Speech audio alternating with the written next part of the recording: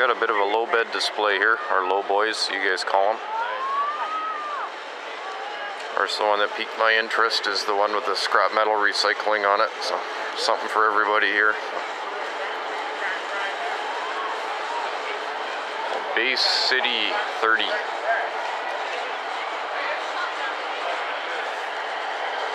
Little front shovel.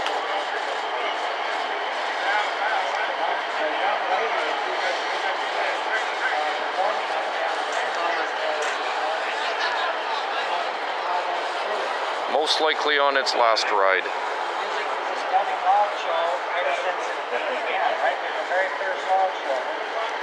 Sort of a shame, but inevitable. It's what happens to everything.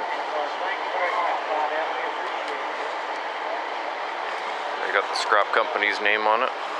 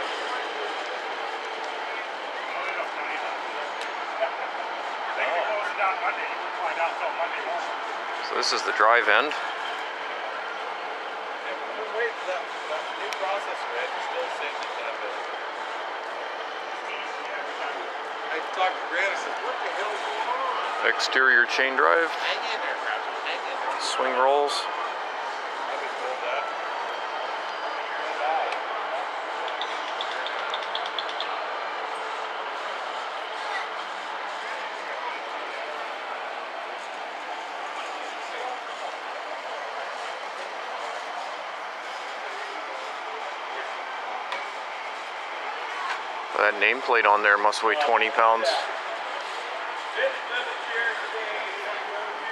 And somebody'd like that hanging in their recreation room in their basement.